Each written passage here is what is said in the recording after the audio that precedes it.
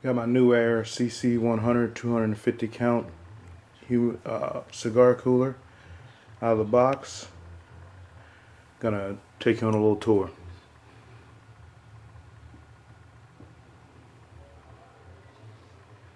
Open it up. Got the instructions down below. Gonna get some sizes later on of the drawers because the sizes of the cooler itself are available, but the sizes of the drawers will help people with a purchase decision.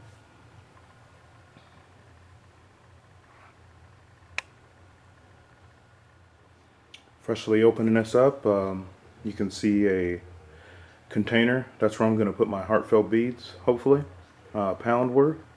Uh, you see the drawer right here. This is what I'm hoping is a decent size. Uh,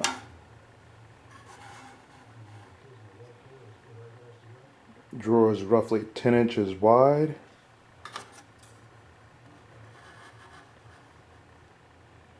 by about 11 inches deep.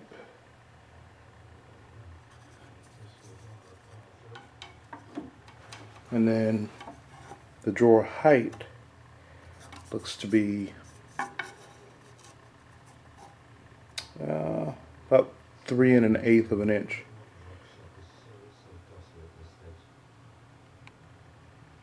So fairly decent size. I would say they would stack at least, what, maybe four deep probably? Maybe five if I'm lucky.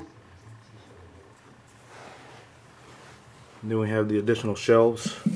I'm going to replace this with a drawer from winador.com. Same dimension sizes. Go ahead and pull the instructions out here. Give those a read over. Then there's an additional drawer there, you see? Or shelf. Pull that out. And then that's the inside. Hopefully the lighting's halfway decent so you can see that.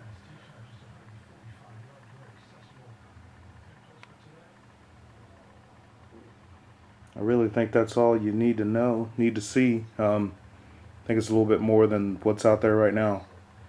So that way you can see what you're getting into.